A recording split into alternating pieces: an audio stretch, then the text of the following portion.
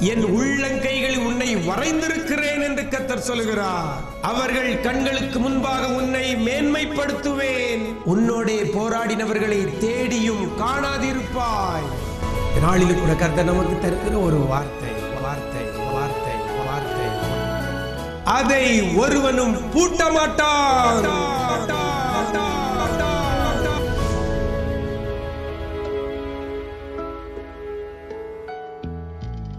கிறிஸ்துவில் பிரியமானவர்களே ஆண்டவராக இயேசு கிறிஸ்துவின் ஈடு இணையற்ற நாமத்தில் உங்களுக்கு அன்பின் வாழ்த்துக்கள். இந்த நல்ல நாளிலேயும் கூட விசேஷித்த வார்த்தை நிகழ்ச்சி மூலமாக உங்களை சந்திப்பதில் மிக்க மகிழ்ச்சி அடைகிறேன். இந்த நாளிலும் கூட கத்த நமக்கு தருகிற ஒரு வார்த்தை வெளிப்படுத்தின விசேஷம். மூன்றாம் அதிகாரம் எட்டாம் வசனத்தில் கடைசியில் இவ்வாறாக சொல்லப்படுகிறது. அதை ஒருவனும் பூட்ட மாட்டான் நாளிலும் கூட அந்த வேதவசனம் உங்களுக்கு நேராக கடந்து வருகிறது. உங்களை பார்த்து சொல்லப்படுகிறது அதை ஒருவனும் பூட்ட மாட்டான் எனக்கு அருமையான தேவஜனமே உடைய வாழ்க்கையில் அநேக காரியங்கள் பூட்டப்பட்டு கிடக்கிறதா?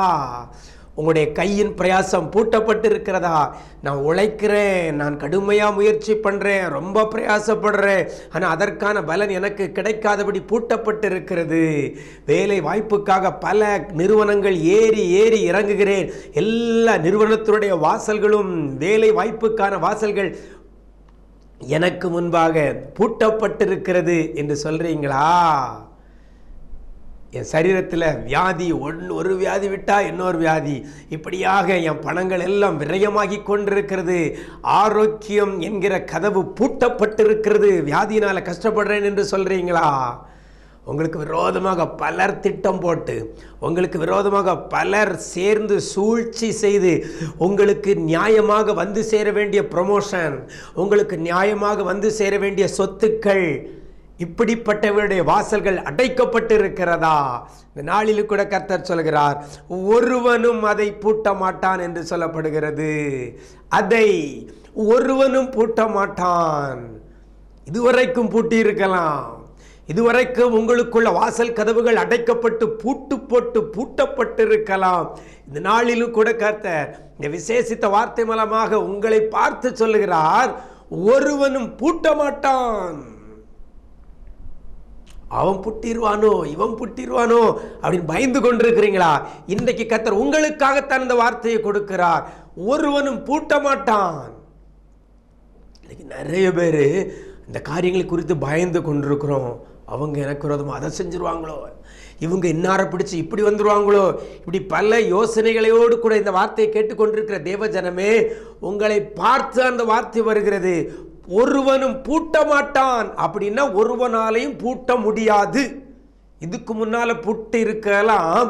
ஆனால் இன்றைக்கு கத்தர் உங்களுக்காக இந்த வார்த்தையை சொல்லுகிறார் ஒருவனும் பூட்ட மாட்டான் என்னதான் பூட்ட மாட்டான்னு சொல்லி பார்க்கும் பொழுது அதை பூட்ட மாட்டான் அதை பூட்ட மாட்டான் அதை நான் எதைன்னு சொல்லி பார்க்கும்போது அந்த வசனத்தில் முன்னால் சொல்லப்பட்டிருக்கிறது நான் ஆண்டவர் சொல்கிறார் திறந்த வாசலை உனக்கு முன்பாக வைத்திருக்கிறேன்.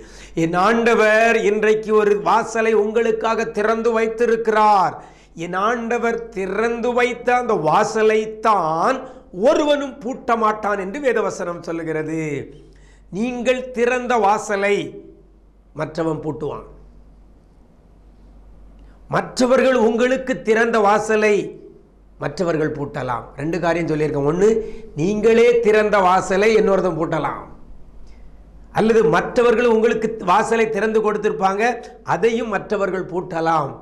இந்த ரெண்டு வாசலும் பூட்டப்படலாம். ஆனால் என் ஆண்டவர் எந்த வாசலை திறந்து வைத்திருக்கிறாரோ உங்களுக்காக எனக்காக அதைத்தான் ஒருவனும் பூட்ட மாட்டான் அப்படியானால் இதுவரைக்கும் என் வாழ்க்கையில் பூட்டப்பட்டிருக்கிறது நிறைய வாசல்கள் நிறைய கதவுகள் அடைக்கப்பட்டு பூட்டப்பட்டிருக்கிறது அப்படின்னா நானா திறந்ததா? இல்லை மற்றவர்கள் எனக்காக திறந்து கொடுத்ததா? சிந்தித்து பாருங்க. கர்த்தர் ஒரு வாசலை உங்களுக்காக திறப்பாரையானால் அதை எவனாலும் பூட்ட முடியாது.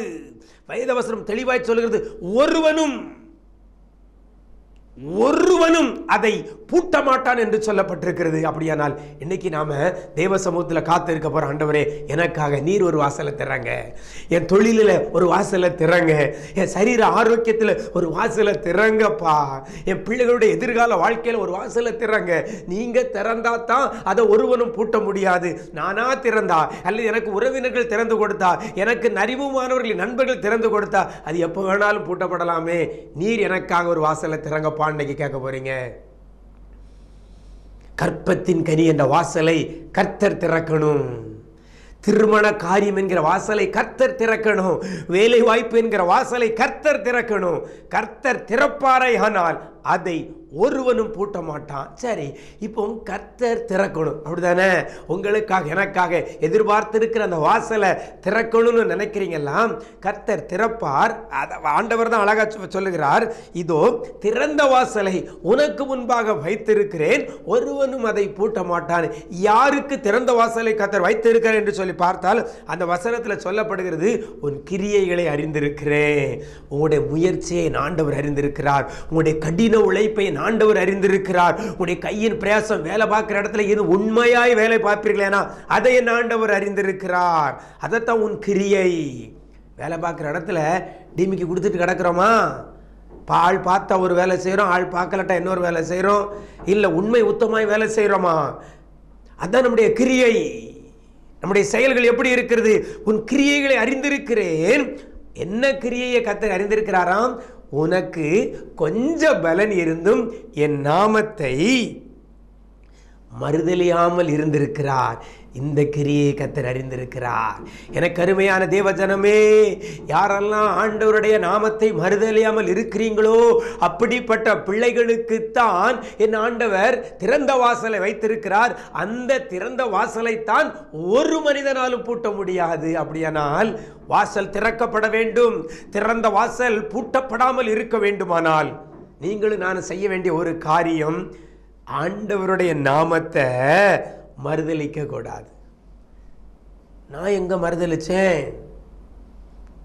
பேதுருவை போலையா மறுதலிச்சேன் அப்படின்னு நம்ம நினைக்கலாம். எத்தனை முறை நம்முடைய ஆண்டவரை நம்முடைய இருதயத்தின் யோசனைகளினால மறுதளிச்சிருக்கிறோம் சொல்றீங்களா? என்னத்த சோமண்ணி நான் கண்டேன். எனக்கு ஒன்றுமே இது வரைக்கும் நடக்கல. இப்படி சொல்கிறீங்களா இது ஆண்டவரை மறுதளிக்கிறதுக்கு சமாதம் ஆலயத்துக்கு போய் என்ன கண்டேன்? என் குடும்பத்தில் தானே இழப்பு வருகிறது. என் குடும்பத்தில் தானே பிரச்சனை வருகிறது. என் குடும்பத்தில் தானே கண்ணீர் பெருகி கொண்டிருக்கிறது. என் குடும்பத்தில் தானே சமாதானம் இல்லை. தினமும் ஜெபித்து வேதம் வாசிச்சு என்ன பிரயோஜனம்? இப்படி ஒரு வார்த்தை உங்களுடைய வாயினாலேயோ உங்களுடைய இருதயத்தினாலேயோ நீங்கள் நினச்சி பார்த்துருப்பீங்கன்னா நீங்கள் ஆண்டருடைய நாமத்தை மறுதளித்ததுக்கு தான் சமானம் வசனம் அழகாக சொல்லுது உனக்கு கொஞ்சம் பலன் இருந்தும் வியாதிப்பட்ட நேரத்திலையும் பலவீனப்பட்ட நேரத்திலையும் உங்களுக்கு அருமையானவர்களை இழந்த நேரத்திலையும் பணத்தை இழந்த நேரத்தில் சொத்துக்களை இழந்த நேரத்தில் வேலையை இழந்த நேரத்திலையும் கூட அதான் கொஞ்சம் பலன் இருந்தும் எல்லா பலனும் போயிட்டு எல்லா ஆசீர்வாதமும் போயிட்டு இருக்கிற ஜீவனை மாத்திரம் கத்தர் கொடுத்திருக்கார? அதில் நீ ஆண்டவரை மறுதளிக்காமல் இருப்பாயானால் உங்களுக்காகவும் எனக்காகவும் கத்த திறந்த வாசலை வைப்பார். எனக்கு அருமையான தேவஜனமே ஆண்டவருடைய நாமத்தை நம்ம மறுதளிக்க கூடாது கத்தர் எனக்காக யாவையும் செய்வார். இந்த தோல் முதலாய் அழுகி போனாலும் நான் கத்தர் பேரில் நம்பிக்கையாக இருப்பேன் அப்படி நம்ம யோபு சொன்னது போல நம்ம சொல்லுவோமே ஆனால் கர்த்தர் திறந்த வாசலை வைப்பார். திடீர்னு சொந்தத்தில் நம்ம உறவினர்கள் நம்ம குடும்பத்தில் ஒருத்தவங்க இறந்த உடனே இந்த ஆண்டவருக்கு கண்ணு இருக்கா? இப்படி நடந்துட்டு அப்படி என்னைக்கா நீங்கள் பேசியிருக்கிறீங்களா? அப்படி பேசுகிற பிள்ளையாக இருப்பீங்கன்னா நீங்கள் ஆண்டவருடைய நாமத்தை மறுதளித்ததுக்கு சமானம் தான் கர்த்தர் உங்களுக்கு திறந்த வாசலை வைக்க முடியாது. இன்னைக்கு யோசிச்சு பாருங்க ஆண்டவர் இது வரைக்கும் என் நினைவினால ஆண்டவருடைய நாமத்தை மறுதளிச்சிருக்கிறேன் என் சிந்தனையினால உடைய நாமத்தை நான் மறுதளிச்சிருக்கிறேன் என்னை தயவாய் மன்னிங்க ஆண்டவரே. இனி எனக்கு என்ன பலன் இருந்தாலும் கொஞ்சம் பலன் இருந்தாலும் உங்களுடைய நாமத்தை மட்டும் மறுதளிக்க மாட்டேன். உம்மை மாத்திரம் நான் நம்பி இருப்பேன் எனக்கு திறந்த வாசலை வைங்கப்பா. அதை ஒருவனும் பூட்ட மாட்டான் என்று சொல்லி விசுவாச அறிக்கை பண்ணுங்க. பிரியமான தேவனுடைய பிள்ளைகளே கத்தர் உங்களுக்காக ஒரு வாசலை திறப்பாரே. ஆனால் அதை ஒருவனும் பூட்ட முடியாது.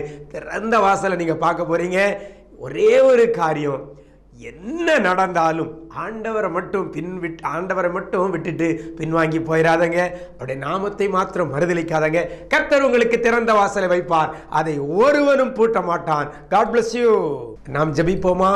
எங்களை நேசிக்கிற அன்பு நிறைந்த ஆண்டவரே இந்த ஆசீர்வதிக்கப்பட்ட இந்த நல்ல நாளிலேயும் கூட ஒரு நல்ல ஒரு வார்த்தையை கொடுத்திருக்கிறீங்க. அதை ஒருவனும் பூட்ட மாட்டான் என்று சொல்லியிருக்கிறீங்கப்பா.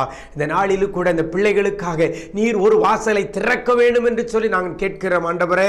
என்னோடு கூட இணைந்து ஜபிக்கிற அந்த வார்த்தையை கேட்டுக்கொண்டு ஜபிக்கிற ஒவ்வொரு பிள்ளைகளுக்கும் ஒரு திறந்த வாசலை என் ஆண்டவர் வைத்து அதை ஒருவனும் பூட்டக்கூடாதபடி என் ஆண்டவர் நீர் பாதுகாக்கப்படுவதற்காக நன்றி செலுத்துகிறோம். யாரெல்லாம் நீர் சொன்னபடி கொஞ்ச பலன் இருந்தும் உம்முடைய நாமத்தை மறுதளிக்காமல் கொஞ்ச பலன் இருந்தும் உம்முடைய நாமத்தை மறுதலிக்காமல் இப்படி நாமத்தை மறுதளிக்காமல் இப்படி நாமத்தை மறுதளிக்காமல் யாரெல்லாம் உண்மையே நம்பி இருக்கிறார்களோ யாரெல்லாம் உண்மையே சார்ந்து இருக்கிறார்களோ அப்படிப்பட்ட பிள்ளைகளுக்கு ஒரு திறந்த வாசலை நீர் வைத்து அதை ஒருவரும் பூட்டக்கூடாதபடி என் ஆண்டவர் நீர் பாதுகாக்கப்படுவதற்காக நன்றி செலுத்துகிறோம்.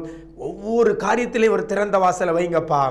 பிள்ளைகளுக்கு இதுவரைக்கும் அடைக்கப்பட்ட வாசல்கள் பூட்டப்பட்ட வாசல்கள் இன்னைக்கு நீர் திறக்க போறதற்காக நன்றி செலுத்துகிறோம். பொருளாதார வாசலை பிள்ளைகளுக்காக நீர் திறக்க போறதற்காக நன்றி செலுத்துகிறோம். வேலை வாய்ப்பு வாசலை பிள்ளைகளுக்காக நீர் திறக்க போறதற்காக நன்றி செலுத்துகிறோம். இன்னுமாக இன்னுமாக தகப்பனே வேலை வாய்ப்பு காரியங்கள் திருமண காரியங்கள் கற்பத்தின் கனி காரியங்கள் இப்படி எல்லாவற்றிலையும் ஒரு திறந்த வாசலை பிள்ளைகளுக்கு நீர் வைக்கப்படுவதற்காக நன்றி செலுத்துகிறோம். உடைய கரத்திலே தாழ்த்துகிறோம். அநேகர் இன்னைக்கு திறந்த வாசல் வழியாக அநேக ஆசீர்வாதங்களை பெற்றுக்கொள்ள போறதற்காக நன்றி செலுத்துகிறோம். உடைய கரத்திலே தாழ்த்துகிறோம். பேசுவின் மூலம் ஜெபிக்கிறோம். நல்ல பிதாவே. ஆமேன் ஆமேன். பிரியமானவர்களே கர்த்தர் உங்களுக்காக ஒரு திறந்த வாசலை வச்சிருக்கிறாரு. அந்த வாசலை ஒருவனும் பூட்டான். God bless you.